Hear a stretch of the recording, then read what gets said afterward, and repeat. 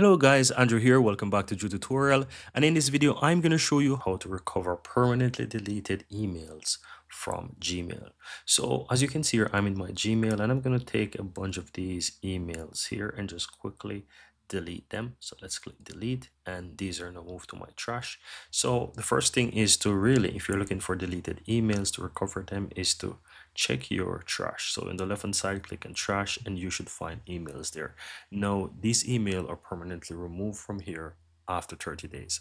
So if you are not able to find those emails, then you might want to take the next step which I'm about to share with you. And as you can see right here, it says that message that has been in your trash, those will be permanently deleted after 30 days, right? So you want to ensure that you keep that in mind. So let's say I have these emails here and I've let's say delete them forever. They're permanently gone. Whether it's whether it's after 30 days or i accidentally delete them.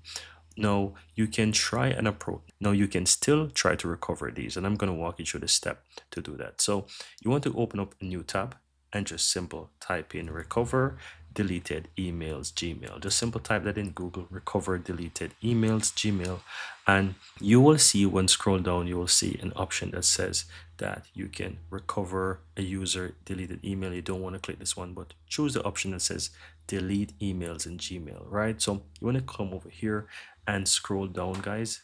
Just scroll all the way to the bottom and you will find gmail message are missing you see gmail messages are missing. So click on that and it's going to give you some important things that you can try right? So here it's going to tell you too that you should search for the mail. It's going to tell you that you can also check filters that's going to help you as well.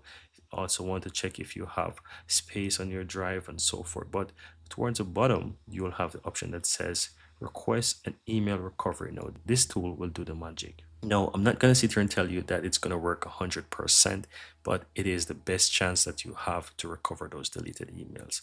So you want to go ahead and click recover your emails and from here it's going to go through a check. You're going to ensure that you have the correct email address right there and nothing has been changed. Just simple click and continue and it's going to go through a process. Now as you can see right here it says that unfortunately wasn't able to recover my email but believe me this is the best chance you got right here to check and try to recover those emails. So go ahead and try it. I wish you the best of luck that it will work for you and you'll be able to recover your emails successfully. Thank you guys for watching and see you in another video.